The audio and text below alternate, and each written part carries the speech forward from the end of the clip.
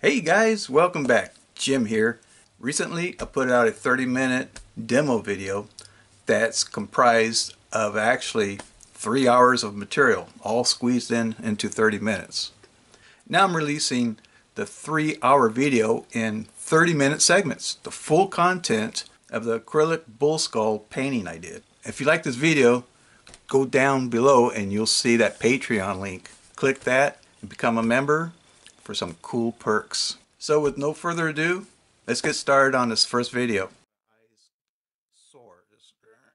You know, it's hard to see. So that's why my eyes are all glazed over. I'm squinting all the time. So from here on out, I'm just going to have to go by the way of the Big Lebowski.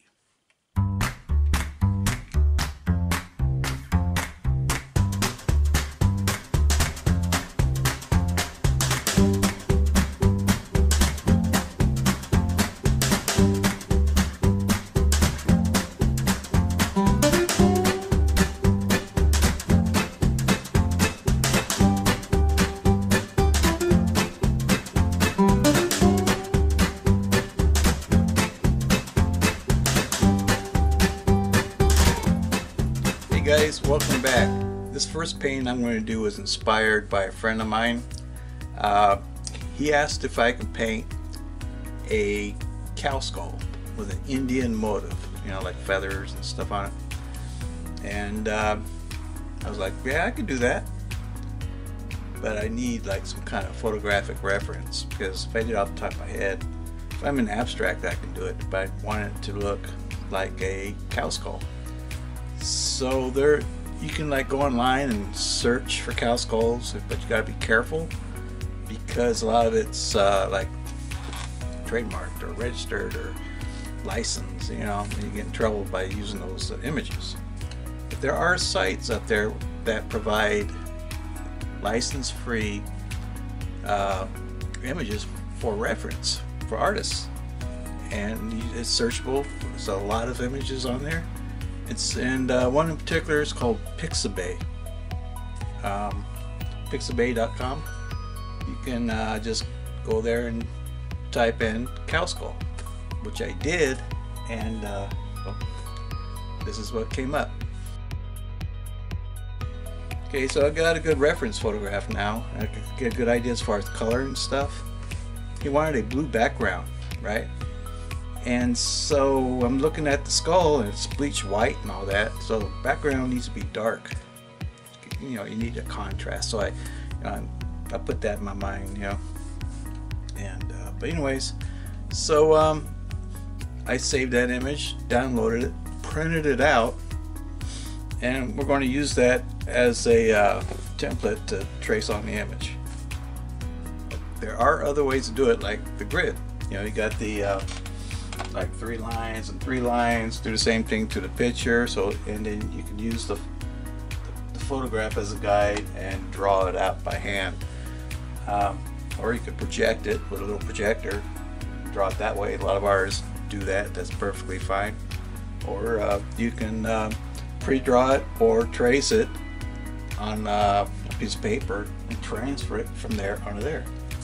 Or you just do it just straight like a lot of artists do but for this particular lesson, we're, just going to uh, use this traceable. That way you can like, uh, don't have to worry about drawing it, and just trace it on there and then uh, we just painted it, right? Okay. Um, so anyways, we got our cow skull and uh, I saw a couple references to some skulls with a uh, like a leather on each horn, like a sheath and uh, some cord hanging down with feathers on it. So we're going to do that as well. Anyway, so you download the picture and you print it out on uh, 8.5 by 11 like a regular printer. Okay, this is what we got. Wrong side. Uh, anyways, uh, so we have the two images, left and right, or right and left, whichever way you're facing, right?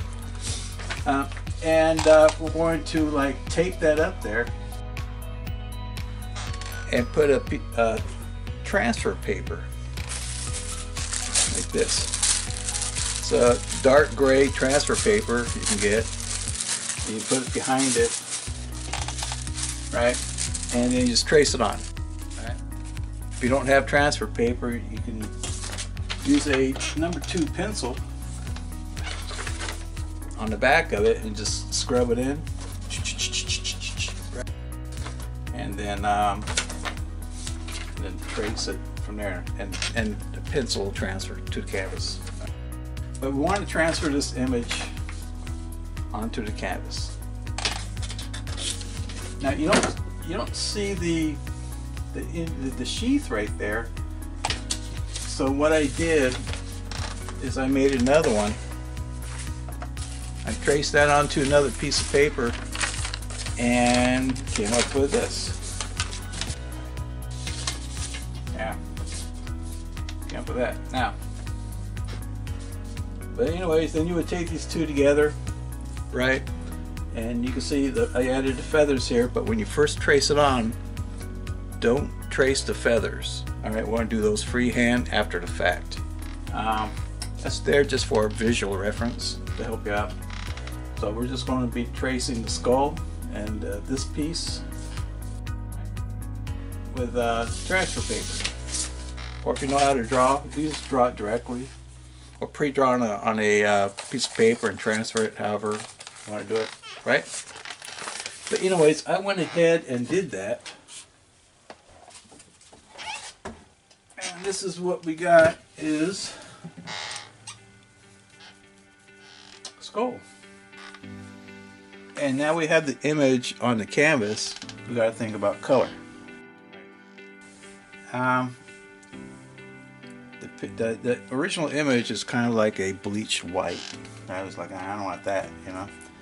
So I was thinking maybe toward the browns, like the ochres, a dingy white, brownish white, that kind of color. You got to think of like a uh, like a middle tone, all right, that we're going to do the skull with. And toward the browns is where I'm going. You can do any color you want, like you can do purple, whatever, but it's got to be a middle tone, so you can go lighter and darker with it. You know, so you can like push it back with shadow, pull it out with highlight, right? So we're going to put middle tones first on the entire painting. So I went through my paints, kind of went through it and say, see what I got. I was thinking of burnt sienna is good. Um, warm brown. And I have a burnt umber, which is kind of a cooler brown, a little bit dirtier. So I was thinking uh, burnt sienna for the warm brown for the leather, and the burnt umber for the skull, maybe. And then I was looking at for highlights. Well, we have, uh, or for middle tone, excuse me, maybe a yellow ochre. I didn't have any, but I had a golden sunset, which looks like yellow ochre. You know, compared to yellow. Um, maybe. Then I ran across this. Ooh, metallic royal gold. That's the ticket. And in the wise, immortal words of Monty Python. Now for something completely different. Anyways, um, okay, so we're going to use metallic gold as the middle tone. Of course, you got the black, the black and the white. I always have to have black and white. The eyes, I was thinking, uh, ooh, red. Yeah, fiery red eyes. It's a bowl, thinking red coming through there. And the background, he wanted a blue, but it's got to be like a, in, a, in a dark blue. So I'm going to do some black in the background and leave some white areas. Let that dry as an undercoat for um, ultramarine blue. Yeah, it's a real transparent blue too. So whatever's white will look like a bright blue. Whatever's black will look like a dark blue. I have very little left, but I do have a tube of ultramarine blue, thick body acrylic. So I can use that uh, as well. All right, so we got our colors here. Let's get started. Right underneath, I do have styrofoam plate to paint on. And the brushes I'm going to use I just got a handful here. Uh, three different flats. There's uh, one, two, maybe three. Yeah, here we go. We have like a uh, just a three quarter inch flat. I'm going to be using this a lot. Um, half inch flat and quarter inch flat, small. And we got some round brushes. This is a number 10 round, number 5 round, a little bit skinnier. That's not a round. Get around, I get around, we get around, round, round, round, I get around, I get around, around town. Okay, never mind. Uh, number 10 round, number 5 round, and a script liner, which is like a really super skinny round, right? Okay, these come in handy. Usually I use these chip brushes. Um, inch and a half and an inch, but I don't think I'll need it for this particular painting. Alright, uh, so first thing I want to do is be putting in the, uh, the middle tone, right? We're doing middle tones.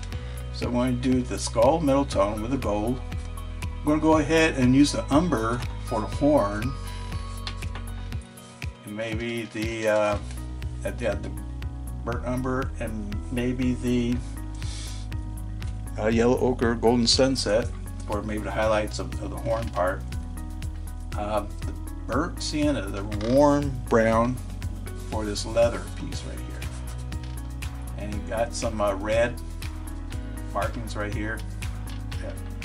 so we'll, we'll just jump in and see what happens right so it's all middle tones probably got shadow all over it try not to get shadow all right first thing we got